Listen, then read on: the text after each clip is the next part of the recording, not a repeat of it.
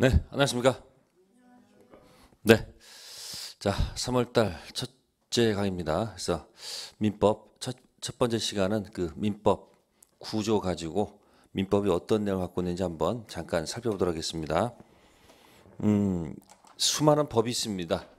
이 법을 크게 나누면 우리는 공법하고 사법으로 나눌 수 있습니다. 공법, 사법.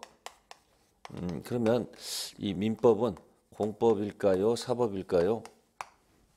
당연히 공법이 아니고 뭐다? 사법에 해당이 됩니다. 음, 그러면 나중에 이런 말이 붙어요. 에, 공법행위란 이 용어도 나오고 사법행위란 말이 나왔을 때 민법은 무슨 행위는 적용하지 않고 공법행위는 적용하지 않고 사법행위 적용할 것이다. 예를 들어서 우리 이제 책을 읽다 보면 에, 공무원이 공무원이 화학김에 사표 내는 경우도 있다 없다 있습니다. 사직 의사가 없는데 사직하겠다라고 사직서 내는 경우가 있습니다. 그럼 이거는 공무원이니까 이건 공법적 관계니까 민법 적용한다 안 한다 안 한다. 근데 만약에 회사 다니시는 회사원이 예? 만약에 사직 의사가 없는데 사직하겠다 한다면은 이건 회사원이니까 이건 사법행위입니다. 그럼 이럴 경우는 민법이 적용 가능성이 있다 없다? 있습니다. 그래서 민법은 공법 아니고 뭐다? 사법. 그러면 사법인 민법은 민, 이제 민법 전을 보게 되면 민법 전 구조는 민법 전입니다. 법전에는 구조는 총 다섯 편으로 이루어졌습니다. 1편, 2편, 3편, 4편, 5편 이렇게 다섯 편으로 이루어져 있고 이 편마다 이름이 정해져 있습니다. 1편은 총칙, 2편은 물권, 3편은 채권, 4편은 친족, 5편은 상속 이렇게 구조되어 있고요. 자, 이것을 갖다가 학자들이 묶어서 물권, 채권을 묶어서 재산법 이렇게 표현을 하고 친족, 상속 묶어서 가족법이다 이렇게 표현을 합니다. 그럼 총칙은 그대로 남아 있습니다. 네. 그럼 여기서는 다섯 편이지만 여기 와서는 세 파트로 나눠지죠. 그럼 총칙, 재산법, 가족법. 네. 그러면 어, 이 총칙이 도대체 뭔가 보면은 총 칙 뭔가 보면은 이게 이렇게 할 수 있습니다. 이게 AX, BX, CX, CX 그다음에 DX는 Y다. Y를 민법전이라 한다면 공통적인 것은 X 다음에 A, B 플러스 C 플러스 D는 Y다. 그럼 X가 1편 총칙이고 2편 물권, 3편 채권, 4편 5편. 그러면 X는 전체의 총칙이죠. 그 제일 어려운 데가 어디가 제일 어렵다? 총칙이 좀 어렵다 그런 얘기예요. 그래서 우리 시험 범위를 가니까 시험 범위는 총칙은 시험 범위가 맞고 재산법도 시험 범위가 맞는데 가족법은 시험 범위가 아니다. 그죠? 그러면 여러분들이 이 총칙은 여기서 내, 내용을 본다면 이제 이거 가지고 이렇게 얘기해요. 총칙은 총칙은 총칙은 자 이렇게 합니다. 형식적으로 봤을 때 형식적으로 봤을 때 자, 겉모습으로 봤을 때는 전체의 총칙입니다. 어디 총칙이요? 전체의 총칙인데 총칙 가서 공부를 이렇게 하다 보면 실질적으로 실질적으로 총칙은 주로 주로 주로 아, 대부분 대부분 에, 재산법의 총칙입니다. 뭐의 총칙이요? 대부분 재산법의 총칙이란 이런 결론이 나옵니다. 즉 재산 관계하고 가족 관계는 의미가 달라요. 여기는 대립적으로 손해를 안 보려 하고요. 여기는 가족 관계는 어떻습니까? 손해 보든 안 보든 그냥 조건 없이 주는 관계예요. 그래서 지도 원리가 다르기 때문에 총칙은 주로 어디? 대부분 무슨 총칙이요? 재산법의 총칙이죠. 그럼 여기다 갖다가 아까 여기다 행위자를 붙였듯이 여기다가 행위자를 붙이면 재산 행위란 말도 있고 가족 행위란 말도 만들 수 있죠. 네? 그러면 지금 이 이야기를 결론 내십니다. 총칙은 실질적으로 어디 총칙이다? 응? 재산법의 총칙입니다. 아시습니까? 어, 그럼 어떻게 생각하시면 돼요? 예, 총칙은 총칙은 총칙은 공법행위 적용이 없고 사법행위 적용을 하고 사법행위 중에서 어디 가족행위가 아니고 뭐다 재산행위에 적용한다. 이렇게 연습하시라는 얘기예요. 이게 중요한 키워드 나중에 용어가 나온단 말이에요. 다시 총칙은 뭐라고요? 공법행위 적용하지 않고 사법행위 적용하고 사법행위 중 전체의 총칙이 아니고 주로 어디? 그러니까 가족행위는 적용하지 않고 어디 주로 재산행위에 적용이 있다. 그렇게 해서 정리하시면은 일단 이 완성된 거예요. 그래서 나중에 문장 읽어보시면 나올 거예요. 그래서 특히 여러분들이 예, 의사 표시라는 파트에서 무슨 표시요? 의사표시 들어간 타- 타이틀이 있거든요.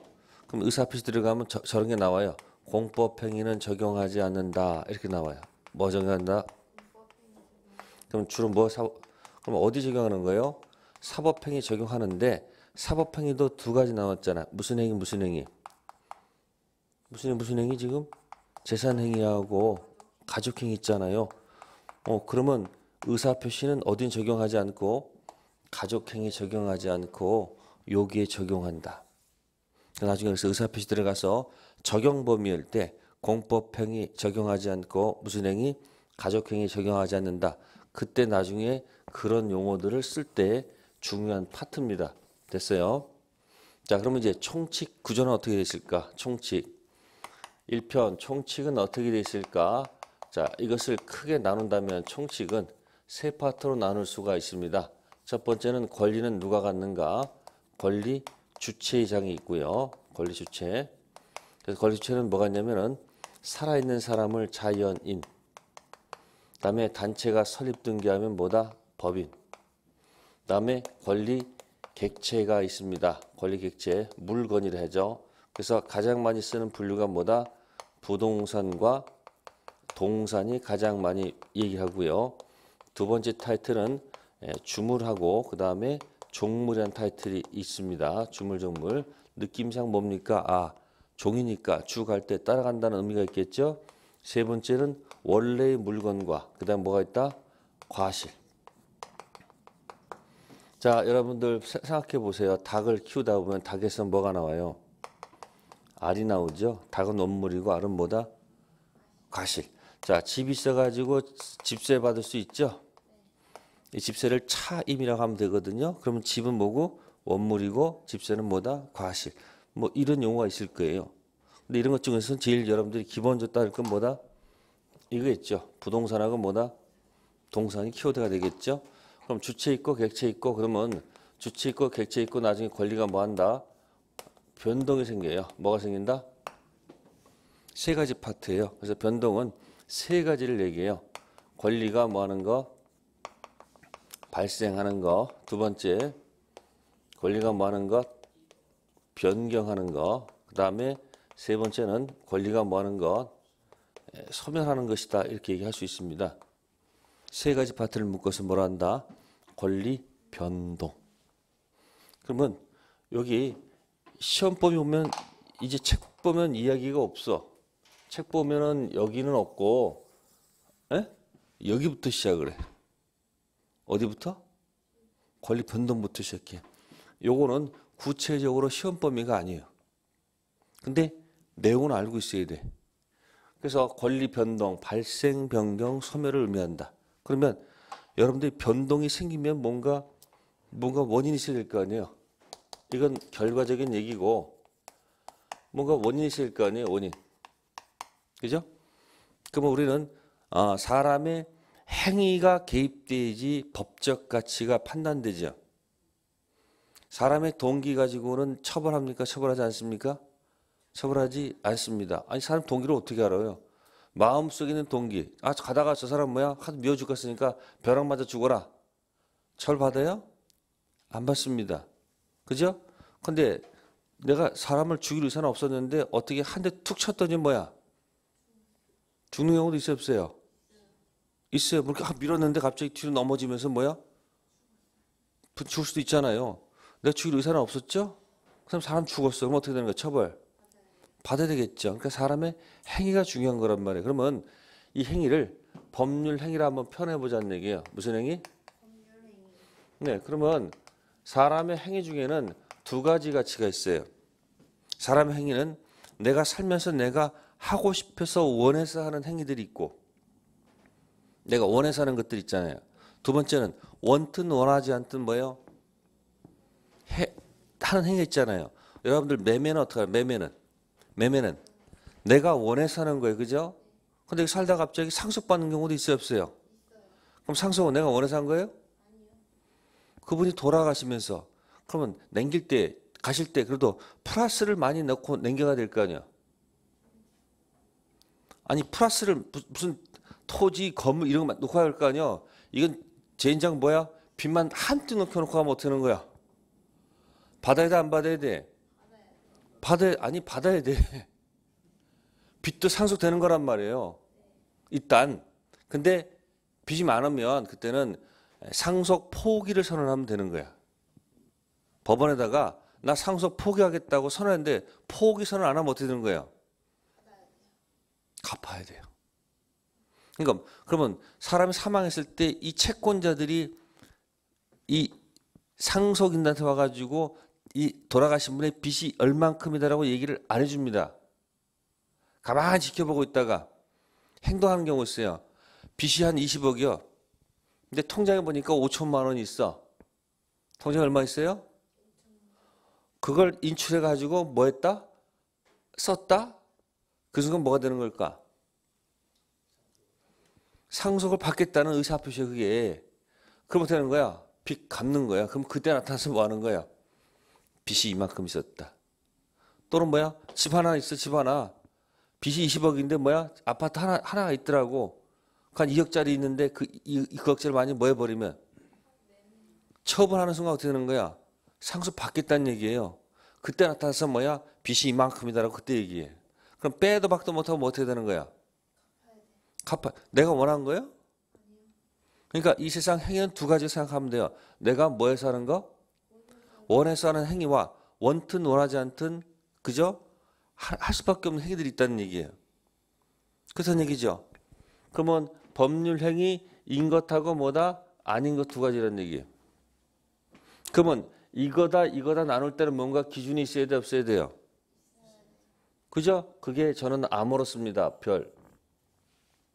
별. 별 있다 없다. 이 별을 암호로 뭐냐면 의사 표시를 한다. 무슨 표시요? 의사 표시. 그럼 요거 따라 내읽어 보세요. 이 세상 살면서 별 볼 일 있어야 돼요. 별 볼 일 없어야 돼요. 없어야 된다고요? 네? 별 볼 일 있어야죠. 그러니까 이것 따라 읽어 보세요. 별 볼 일 있는 법률 행위로 인한 권리 변동 연습하셔야 돼요. 뭐라고요? 별 볼 일 있는 법률 인한 무슨 변동? 권리 변동과 별 볼 일 없는 법률 행위 아닌 권리 변동. 그럼 법률 행위 가장 대표는 제가 방금 전에 매매를 들었어요. 뭘 들었다? 매매. 두, 두 번째 것은 상속을 들었어요. 그죠? 그래서 별벌 있는 법률한 권리 변동과 별벌 없는 법률한 권리 변동.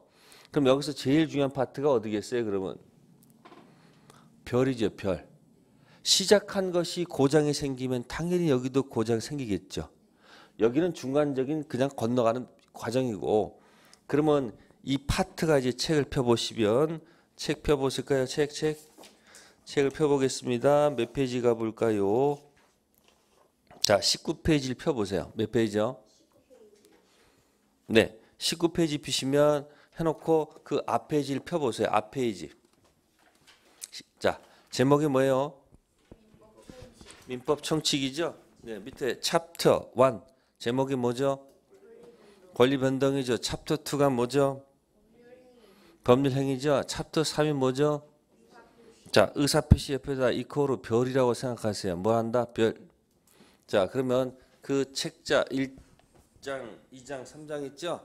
책을 거꾸로 봐, 거꾸로 봐, 거꾸로 이렇게. 책 거꾸로 보세요. 거꾸로 어떻게 할까요? 이거 나오잖아 그대로 뭐 여기 나오잖아요 의사 표시 법률 행위 권리 변동 나오잖아요. 그러면 여러분들은 어디다 목숨 걸어야 된다? 의사 표시에 초점을 놓고 열심히 거기다 보- 보란 얘기야. 1장, 2장 거기다 목숨 걸지 말란 말이에요. 근데 우리는 모르니까 모르는 사람들은 1장부터 2장부터 죽어라 공부하잖아요. 제일 어려운 데를 가지고 제일 그러니까 법은 법은 이 전체적인 체계가 세야지 공부가 되는 거야. 막 되는 게 아니실 때. 암기식이 아닙니다. 반드시 뭐 해야 된다? 일을 해야 돼. 제가 가장 답답한 게 뭐냐면 이 비록 수험 수험생 공부를 하다 하더라도 그 원리가 있거든. 근데 원리를 모르고 그냥 처음부터 끝까지 뭐 하려고 그런다? 공부한 사람이 있어. 그러면 안 돼요. 원리가 있어야 되는 거예요. 먼저 순서를 해야 되는 거예요. 그러니까 제일 중요한 게 어디다? 의사 표시를 열심히 파면 돼요. 다만 이제 앞에 건 뭐예요? 구색을 맞추기 위해서 책을 갖다 놓은 거란 말이에요. 구색. 파트는 어디가 제일 중요한 데가? 의사 표시. 네. 그러면 이제 그 이제 책장 넘기시면은 이제 19페이지 가시면 권리 변동이 세 가지가 있다라고 정의가 돼 있어요. 뭐가 돼 있다고요?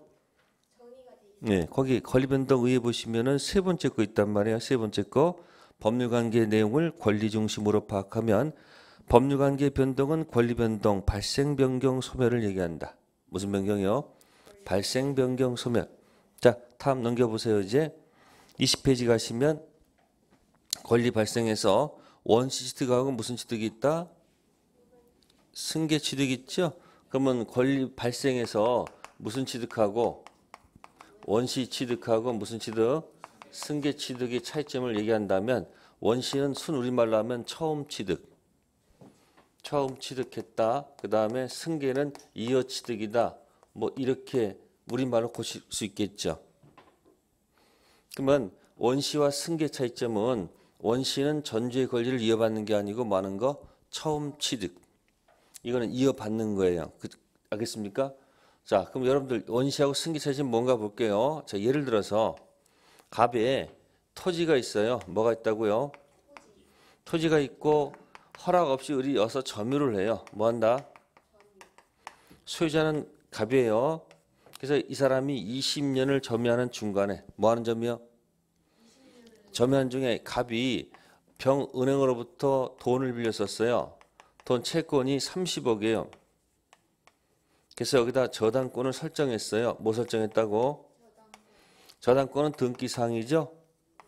갑은 무슨 권이 있고 소유권이 있고 돈 빌렸다는 얘기예요. 대출 받았다는 얘기예요. 그 취득시효가 완성됐어요. 뭐가 됐다고요? 취득시효랍니다. 이건 무슨 시효요? 취득시효랍니다. 완성돼서 이제 뭐 하게 되면 등기하게 되면 자 등기하게 되면 이것이 을이 소유권을 취득하는 거거든요. 네? 그럼 이 취득이 원시일까 승계일까 하는 얘기를 보는 거예요. 자 이것이 원시라 한다면 뭘 한다면 원시라 한다면은 어떻게 될까요? 소유권도 사라지고 저당권도 사라지고 가져오는 거고 만약에 무슨 취득이면 승계 취득이 어떻게 되는 거예요? 이 저당권이 따라와야 돼요. 네? 그 무슨 얘기냐면 이 을 입장에서는 뭐, 뭐라고 주장하고 싶어요? 을은 뭐, 무슨 취득? 그러면 저당권 없는 깨끗한 토지 가져가는 거예요. 근데 이 입장에서는 이 입장에서 뭐라 합니까? 이건 원시가 아니고 뭐다? 승계다. 그래서 저당권 효력이 미친다 하는 얘기거든요. 그러면 경매할 수 있다는 얘기거든요. 예? 그러면 이거다 이거다 싸울 때 법원에서는 어떻게 판단할까? 법원에서는 승계가 아니고 뭐다? 원시다. 그럼 저당권은 어떻게 되는 거예요? 사라지는 거야. 그럼 이 사람이 소유권 취득할 때 이거 날라가고 모두 날라가고 깨끗한 걸 취득하는 거예요. 됐어요? 그러니까 원시는 전주의 권리를 다 뭐하고 삭제하고 가는 것이고 승계는 이어받는 거예요. 그래서 취득 시효는 기억해 두십니다. 그래서 여기 원시득에 2번에 보시면 2번 예컨대 신축한 건물의 소유권 취득 시고 취득 시효 있죠. 그거 꼭 하나 기억해 두세요. 뭐예요? 취득 시효 어디 봐맨 위에 거 봐야지 가로 1번 원시득에 2번 있잖아요. 그죠? 그러면 21페이지 보시면은 핵심 체킹에 뭐 있어요? 핵심 체킹 원시딕과 승계식 차이점 있죠? 거기다 하나 딱 적어놓은 말 대표적으로 무슨 시오? 취득 시오는 무엇일까 한번 고민해 볼 것. 자 됐습니다. 원시 승계 차이점이고요. 다음 승계 들어가면 다시 이전적하고 뭐 있어요? 이전적하고 다시 뭐로 나눠요? 설정적으로 나누거든요. 이전적하고 뭐요? 설정적. 네, 여기서 특별한 의미 이- 생각하지 마시고 이전적 들어가면 다시 특정과 뭐가 있다. 포괄이 있어. 어, 요거를 하나 좀 기억해 둘 필요가 있다는 거. 특정과 뭐다? 포괄. 그러면 여기서는 어, 특정 승계, 포괄 승계 있을 때 특정 승계 맨 앞에 있는 게 매매죠. 네? 포괄 승계 발 앞에 있는 게 뭐죠? 상속이죠? 네. 그러면 여기서는 여기다 써볼게요. 매매가 있었다. 그 다음에 뭐 있다? 상속이 이루어진다. 그러면 매매할 때 사는 사람을 우리는 뭐라 그러죠? 매수인. 상속받는 사람을 우리는 상속인. 그럼 앞에 파는 사람이 누구예요? 매도인. 자, 상속 피자 쓴다고요. 피 뭐다? 상속인. 이때 이 매매가 무슨 승계이기 때문에 특정 승계고 상속이 무슨 승계? 포괄 승계니까 이 인자를 붙여서 뭐를 붙여서 인자 붙여서 매수인을 뭐라 한다? 무슨 승계인? 특정 승계인. 이쪽은 포괄 승계인 이렇게 연습하는 거예요. 아셨어요? 그러니까 특정 승계 나올 때는 빨리 누굴 기억하고 매수인, 포괄 승계 나오면 빨리 뭘 기억한다? 상속인을 기억하세요.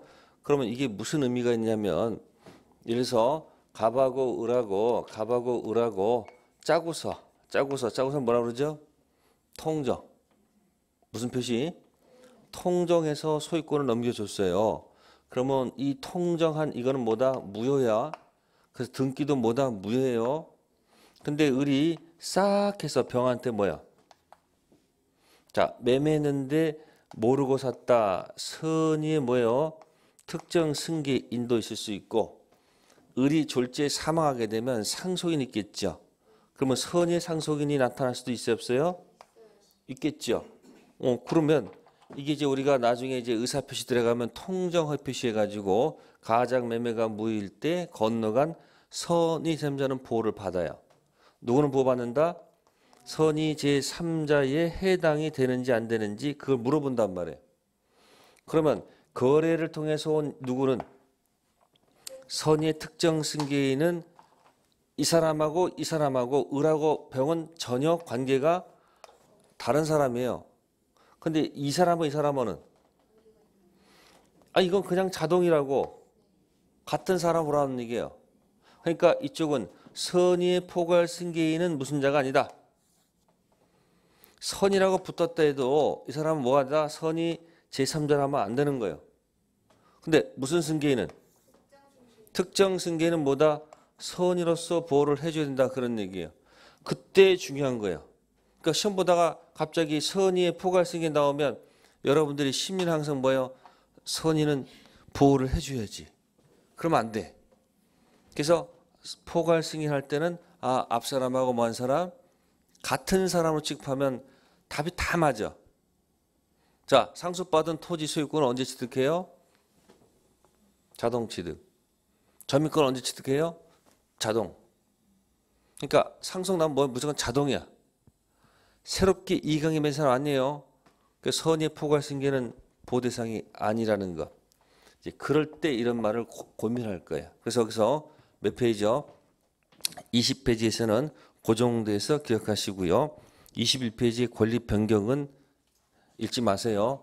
나중에 또 5월 6월 달 또 설명 드릴 테니까. 그다음에 권리 소멸도 패스. 자, 다음 타이틀 이제 23페이지 갑니다. 권리 변동 뭐가 있어요? 원인이 있습니다. 원인 있죠? 네, 그럼 봅시다. 거기 여기 이쪽 볼게요. 이쪽 볼게요. 자, 여기 보시면은 여기 의사 표시 있잖아요. 의사 표시 있고 법률행위 있고 권리 변동 있잖아요. 그럼 여기다가 어, 이름 만드는 거예요, 이름. 그러면 이 재료 가지고 뭐 가지고 재료 가지고 뭐 만들어서 요리 만들어서 맛을 느끼겠다 그 얘기예요. 재료 가지고 뭐 만들고 요리 만들어서 맛을 느낀다. 그렇고 이 재료를 갖다가 어려운 말로 고치면 되는 거예요. 어려운 말을 쓸 때 있어 보이죠? 어려운 말 몰- 몰라야지 있어 보이잖아. 그러니까 뭐야? 이 재료를 뭐라 한다? 재료를 이렇게 표현한 거예요. 뭐, 뭐예요? 법률, 사실 이렇게 하고 요리를 뭐라 하고 법률, 요건이라 하고 이 맛을 갖다 뭐라 한다? 법률, 효과다 이렇게 하는 거예요. 그러면 우리가 매매할 때 예? 재산권 이전 약정, 예? 대금 지급 약정 기억나세요? 그러면 약정 약정이 뭐죠? 약정 약정이 뭐죠? 청약의 별, 청약의 무슨 표시? 의사 표시와 그다음에 뭐죠? 무슨 표시? 승낙의 의사 표시. 그죠? 그건 재료죠. 그래서 뭐가 되면 무슨 계약이 체결되면 매매 계약이 체결되면 그죠? 각자 각자 뭐가 생긴다. 각자 각자 뭐가 생긴다. 효력이 생긴다는 말 있잖아요. 효력이 생긴다. 그게 뭐예요? 달라, 달라. 그래서 뭐죠? 뭐 달라? 이쪽에서는 뭐 주세요?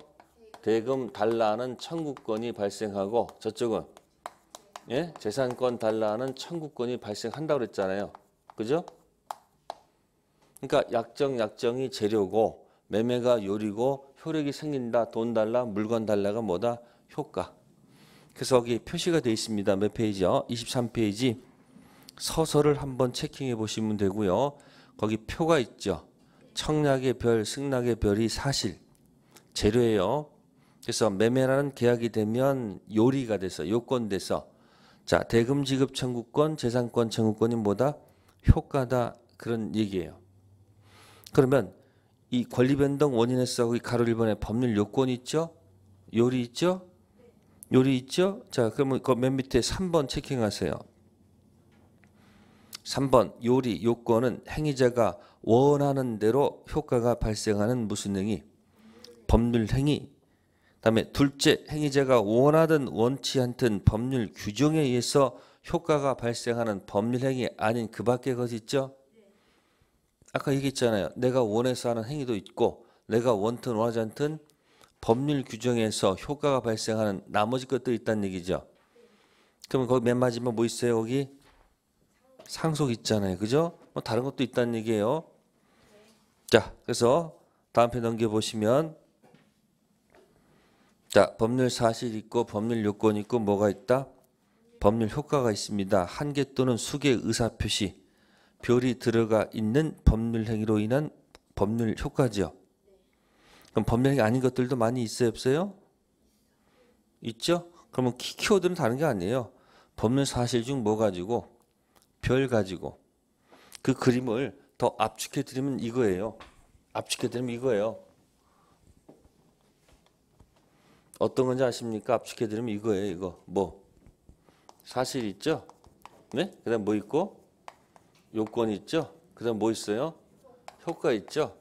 그 제 방식대로 한다면 별이야 별. 별. 네? 해놓고 별이 들어가 있는 안 들어가 있는 가장 대표가 뭐요? 법률 행위죠? 그럼 이렇게 되면 되겠네. 법률 이렇게 하면 되겠네. 그래서 뭐가 생긴다? 권리 변동 생긴다는 거예요. 그 뭐가 들어가 있어요? 별 들어가 있는 법률 행위로 인한 무슨 변동과 별 없는 법률 행위 아닌 권리 변동. 그러면 여기다 더 조금 럭셔리하게 하면 어떻게 돼? 이 말을 붙이면 되지. 뭐라고? 사실 중 사실 중 그죠? 별 들어가 있는 요건 중 무슨 행위? 법률 행위로 인한 효과 권리 변동. 그러면 여기 있는 거 여기 있는 거 여기 여기 있잖아요 이렇게 이거 이거 옆으로 누인 거요. 옆으로 누인 거요. 똑같은 표현 방법이에요. 다음 가장 키워드는 뭐다? 별. 네 그리고 밑에 보- 보충학습 법률 사실 분류 있죠? 읽지 마세요. 예? 그냥 읽고 상처받지 마시고 읽지 마세요. 그럼 사실 중 제일 중요한 게 뭐다? 25페이지 보시면 제일 제일 첫 번째 의사표시 있죠? 네? 그것만 별표해 놓으세요. 사실 중 재료 중 제일 중요한 것이 뭐다? 별이라고 그것만 기억해요. 됐어요? 그건 참고사항입니다. 보지 마세요. 자 넘기세요. 넘기시고 자 강의 노트 열심히 한번 읽어보세요. 제 설명이 이해가 될 겁니다. 자 다음 넘겨보십시오. 28페이지 갑니다. 챕터 2 무슨 얘기가 나와요? 네 이제 법률 행위지 뭐, 뭐 의의가 뭐고 뭐 종류가 뭐고 나오는 거죠. 그러면 여기서 법률행위 정의를 해봅시다. 여기서 법률행위 정의. 자 법률행위란 법률행위란 했습니다. 그죠? 그러면 이렇게 했네요. 자, 첫 번째 무슨 행위란? 법률 행위란 자 볼게요. 별을 요소로 한다. 맞습니까? 별이 뭐죠? 의사 표시를 뭐로 한다? 요소로 하지요. 그죠? 다음 법률 행위는 소속이 어딥니까? 법률 행위는 모두 아니고 모두 아니고 사실도 아니고 모두 아니고 효과도 아니고 어디다 요건이죠. 그렇죠? 그러면 말을 갖다 붙여보세요. 법률 행위란 뭘 하면 될까요? 의사표시 요소로 하는 뭐다? 요건이다. 그럼 별이 하나일 수도 있고 여러 개일 수도 있죠? 자, 이 별 방향을 볼게요. 별 방향, 별 보세요. 이게 별이에요. 하나. 별 하나. 별 두 개 부딪히고 나란히 갈 수 있어요, 없어요? 있죠. 그래서 법률 행위는 법률 행위는 별 개수에 따라서 일방적, 대립적, 평행적. 그래서 여기 의의를 보세요. 법률 행위란 하나 또는 수개의 의사 표시를 요소로 하죠.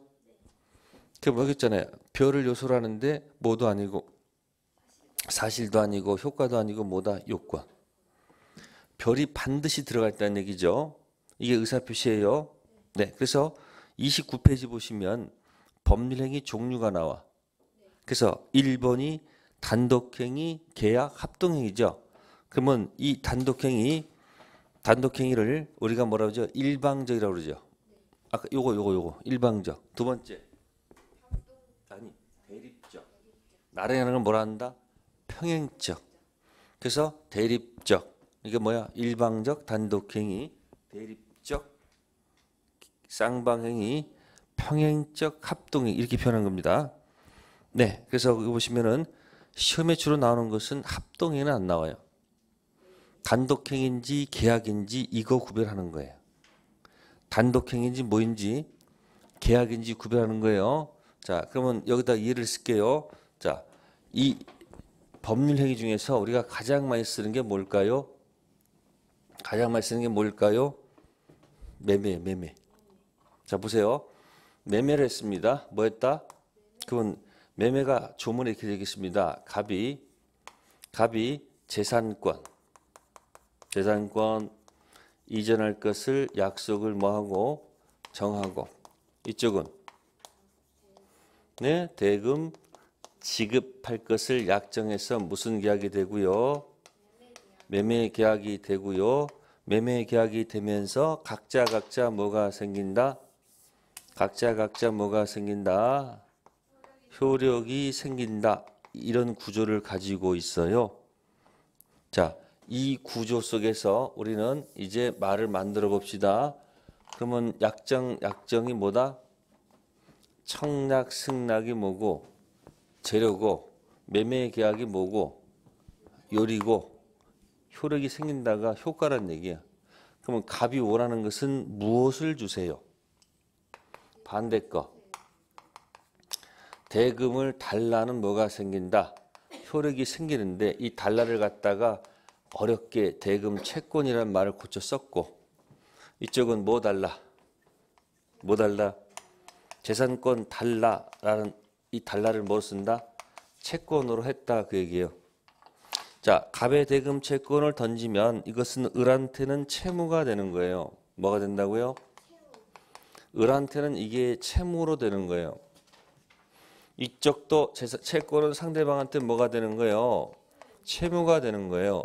그러니까 대금이라는 이것을 가지고 놀게 되면 갑이 뭐가 되고 달라는 채권자가 되고요. 을은 뭐가 되고 채무자가 되고요. 재산권 가지고 놀면 을이 뭐가 되고요. 채권자가 되고요. 매도인이 뭐가 된다는 거예요. 채무자가 되는 거예요. 근데 우리는 살면서 맨날 이것만 보기 때문에 항상 매도인은 뭐인 줄 알고 있어. 채권자만 알고 있죠. 돈 가지고 놀면 갑은 무슨 자지만 채권자지만 재산권 가지고 놀면 매도인이 채무자가 되는 거예요. 아시겠습니까? 어, 그럼 여기 무가 두 개네요. 무, 무가 두 개를 뭐라고 그래요? 쌍무 계약이라고 그래요. 무슨 계약이요? 쌍무. 그럼 이 사람 채무를 이행해야 돼, 안 해야 돼요? 채무를 예쁘게 이행해야 되는 게 맞겠죠? 그럼 이제 또 채무를 뭐 해야 돼요? 당연히 이행하는 것이 신의 성실에 따라 가는 거예요. 계약대로. 네. 그런데 채무를 만약에 뭐 하지 않으면 을의 잘못으로 을의 잘못으로 을의 잘못으로 그걸 뭐라 그러죠? 이 잘못을 갖다가요 법률 용어로 귀책사라고 그래. 뭐라 한다? 귀책사유. 돌아갈 귀 책임책. 잘못으로 이행 못할 수도 있어요, 없어요? 그걸 우리가 뭐라 한다? 채무 불이행. 채무 불이행. 그럼 이쪽도 채무를 이행하지 누구의 잘못으로? 갑의 잘못으로 귀책서 이행하지 못한 채무 뭐예요? 불 이행이 나타날 수 있어요, 없어요? 있죠. 그러면 채무를 이행하지 못할 수도 있지 않느냐 그 얘기예요. 그러면 매수인이 중도금을 안 주게 되면 채무 불이행 중 우리는 이행지체라고 그래. 뭐라 한다? 그래서 상당 기간 정에서 최고 때리고 안 갖고 오면 야 끝내자 그만하자 해 제할 수 있지요. 그러면 해 제할 수 있단 말이에요. 쟤는 매매를 제거시키는 거예요. 그리고 뭐라 한다? 원래 상태로 돌려놔. 무슨 회복? 원상회복. 그다음 무슨 배상? 손해배상. 그럼 해제는 일방적으로 하는 거죠. 일부 사람과는 일방적으로. 그죠? 이쪽도 문제 생기면 뭐야? 계약을 뭐 할 거예요? 이쪽도 해제할 수 있는 거 아닙니까? 해제. 그러면 매매는 쌍방행이 계약이고 해제는 뭐다? 단독행위다 그런 얘기야. 됐죠? 자, 두 번째 또 볼게요. 임대차를 해볼게요. 무슨 대차요? 자, 갑은 자, 뭐 이- 약정할 것 같아요? 목적물. 목적물 뭐 한다? 사용, 수익, 하게 할 것을 뭐 하고 약속을 정하고 이쪽은 차임이야, 차임. 뭐 지급할 것을 차임 지급하게 할 것을 약정할 때 무슨 계약이 된다? 네, 임대차 계약이 되겠지요. 그러면 또 각자 각자 뭐가 발생한다? 자, 똑같이 효력이 생겨요. 자, 효력이 생깁니다. 보여드리는 거예요, 지금. 그럼 각자 각자 효력이 생겼습니다. 그러면 갑은 어떤 효력이 생기고요? 응? 어떤 효력이 생기고요? 반대 거 뭐 주세요? 그래요. 차임 달라라는 뭐가 생기고 채권적 효력이 생기고 이쪽은 달라 하겠죠? 뭐 달라? 사용 수익해 달라는 채권적 효력이 생기겠죠? 자, 이것을 상대방한테 대입하면 어떻게 돼요? 채무가 될 거 아니에요? 이쪽도 채무가 있을 거 아니에요? 그죠? 그럼 채무를 이행해야 돼, 안 해야 돼요? 채무를 이행해야 될 거 아니에요? 그죠? 채무를 뭐 해야 되는 거예요? 이행해야 되겠죠? 그럼 채무를 이행하지 못하는 경우도 있겠네. 그게 뭐야, 채무? 채무 뭐예요? 불이행이 있을 거 아니에요, 이렇게. 이렇게 있을 거 아니에요? 똑같이 이쪽도.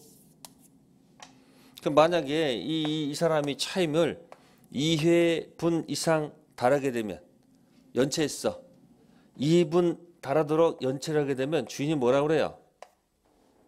야 나가. 그만해. 이때 쓰는 용어는 뭐다? 응? 해 아니지 지 지 지 지 지 지 멈출지 요거는 뭐 하는 거고 제거할 제자고 지는 뭐다 멈추는 거야 그럼 이건 유효했다가 거슬러 올라가서 싹 잘라버리는 거고 이거는 효력이 위한 것이 멈춘다는 얘기야 그러니까 이건 그때부터고 이거는 제가 제거할 제자고 지가 뭐다 멈추는 거야 그럼 뭐도 일방적으로 하는 거 아닙니까? 그러니까 이건 무슨 행위? 이런 것들은 단독행위. 임대차하고 매매는 뭐다? 계약. 그럼 연결해 볼게요. 간단해요. 29페이지 가로 2번 계약의 동그라미 2번 넓은 의미의 계약에는 채권 계약 있어요. 매매 동그라미. 그리고 위로 쭉 올라가시면 상대방 있는 단독행위가 있어요. 무슨 단독행위요? 거기 해제 있죠. 그러면 매매를 해제로 쭉 연결해 놓으세요. 매매를 어디로? 해제. 그다음에 옆에 임대차 있죠. 임대차는 해지에도 쭉 연결해 놓으세요. 상대방이 있는 단독행위 종류에 들어가면 상대방이 있는 단독행위 얘가 해제 해지가 있죠. 그 다음 밑에 계약 들어가면 예예 매매 교환 임대차가 있죠. 그러니까 해제는 어디로 연결하고 매매 연결하고 해지는 임대차로 연결해 놓으시면 되겠습니다. 네, 그래서 단독행위하고 계약 두 가지가 이해가 있고요. 그다음에 상대방 있는 단독행위하고 상대방 없는 단독행위 있죠. 자, 여러분들 해지할 때 누구한테 할지 고민돼 고민 안 돼. 그냥 바로 너지. 고민 너 정해져 있잖아요. 정해져 있습니다. 자, 여러분을 지금 유언해야 돼. 누구한테 유언할 거야? 고민해야 돼. 하긴 하는데 고민해야 돼, 안 해야 돼요? 해야 돼요. 그래서 누구한테 고민해야 되는 단독행위가 뭐고 상대방 없는 단독행위고 고민할 필요 없이 바로 정해지는 게 뭐다? 상대방 있는 단독행위. 그걸 특정되어 있다는 것을 뭐라 그러고 상대방 있는 단독행위고 누구한테 할지 특정되어 있지 않은 게 뭐다? 상대방 없는 단독 행위가 되겠다. 그 얘기입니다. 아시겠습니까? 됐어요? 네. 그래서 상대방 있다 없다 해서 계약하고 연결하셔 가지고 매매는 뭐하고 놀고 해지하고 놀고요. 임대차는 해지 제를 위로 올려 가지고 쓰세요. 해제 제 있죠? 제거할 제. 지는 멈출지. 제거할 제자하고 뭐예요? 멈출지. 제거한다는 것은 올라가서 임대차 아, 매매를 제거하는 거예요. 지는 임대차를 제거하는 것이 아니고 임대차 효력이 멈춘다는 거예요. 그러니까 처음부터 끝내는 게 뭐고 해 제거. 그때부터 끝내는 게 뭐다? 해지. 연습해 둘 필요가 있습니다. 그 정도에서 기억하시면 법률행위 종류가 될 것이고요. 자, 30페이지 가 보세요. 30페이지 가시면은 채권 계약해서 15개가 있어요. 그죠? 이 중에 우리 시험 범위는 체킹해 볼까요? 2번 매매. 3번 교환. 그 다음에 6번 임대차. 이 세 가지만 무슨 범위다? 시험 범위에 들어간다 그 얘기입니다. 자, 다음에 31페이지 보시면 이제 채권 행위하고 뭐가 있어요? 물권 행위가 있죠? 네, 그러면 이제 연습해 볼게요. 이제 여기다 마지막에 쓰니까 자, 요 매매 계약은 무슨 각자 각자 뭐가 발생하죠? 채권이 발생하죠. 그래서 매매 계약은 채권 행위의 대표야. 예? 그러면 여러분들 채무 이행의 마지막 단계가 뭔지 아세요? 채무의 마지막 단계가 뭔지 아세요? 매도인은 뭘 줘야 되고요? 응? 자, 이게 을이니까 을은 뭘 줘야 된다? 잔금을 줘야 돼. 을은 뭘 된다? 이쪽에 마지막 단계가 뭔지 아시죠? 등기 서류를 교부해야 돼요. 에? 그러면 이 마지막 단계 이것을 갖다가 우리는 물권 행위라고 그래요. 무슨 행위요? 가서 그리고 등기를 합니다. 그러면 연습해 봅시다. 자, 해보세요. 약정, 약정, 성립. 해보세요. 약정, 약정, 성립. 내려와서 효력이 생긴다. 이게 유효야. 예? 약정, 약정, 성립해서 효력이 생긴다. 그러면 어떤 효력이 생겨요? 갑의 채권, 을의 채권. 그러니까 뭐야? 달라, 달라. 갑의 채권, 을의 채권. 각자 각자 뭐가 발생했어요? 채권이 발생했죠? 그래서 매매는 무슨 계약이다? 채권행위입니다. 그러면 보세요. 갑의 채권은 을의 채무고 을의 채권은 갑의 채무야. 채무를 다 이행해야 되겠죠. 채무의 마지막 단계가 뭐예요? 마지막 단계가 잔금 주고 등기 서 주는 거 있죠. 그게 소유권 넘어간다는 생각에 소유권 이전 행위야. 무슨 행위? 그게 물권 행위야. 그럼 물권법 세계 들어가서 마지막에 못 치는 거야. 박수 치고 등기 끝. 해볼까요?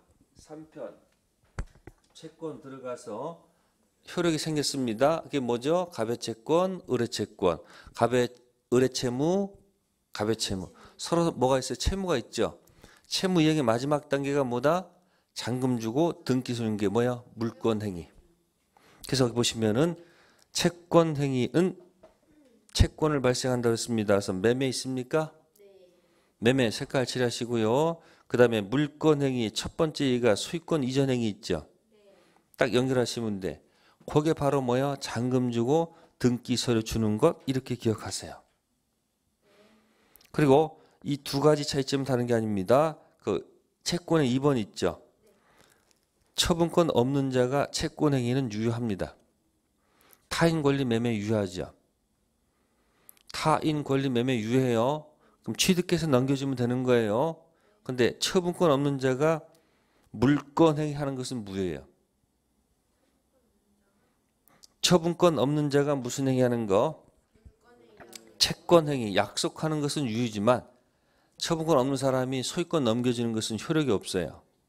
그 두 가지를 비교해 두세요. 그래서 타인 권리 매매도 유효하게 체결할 수 있다고 돼 있죠. 있죠? 그래서 나중에 못 넘겨주면 담보 책임 문제로 풀어가요. 무슨 문제? 음, 그래서 그 정도 기억하시면 됩니다. 그럼 여기 보세요. 여기 행위자 나왔네. 재산행위 보세요. 여기 무슨 행위? 재산이 있잖아요. 그럼 여기다 붙여보세요. 여기다가 무슨 행위도 있고. 아이 보세요. 이게 이게 얼마나 중요한 건데 이게. 아 재산이 무슨 행위 무슨 행위 있어? 그럼 아까 저 매매해서 채권 채권 발생해서 채권 행위했죠. 그럼 마지막 단계가 뭐예요? 잔금 주고 등기 주는 게 물권 행위 아닙니까? 그러니까 타인 권리 채권 행위는 유효하지만 처분권 없는 사람이 뭐 하는 것? 수요권 넘겨준 것은 인정 안 됩니다. 그래서 그 무슨 행위도 있고 그 붙여가는 거예요. 자꾸 명칭을. 네. 나머지 행위 종류는 참고사항으로 넘기겠습니다. 아시겠습니까? 네. 그래서 1교시는 거기까지 일단 하고요. 쉬었다가 이제 요건 들어가겠습니다.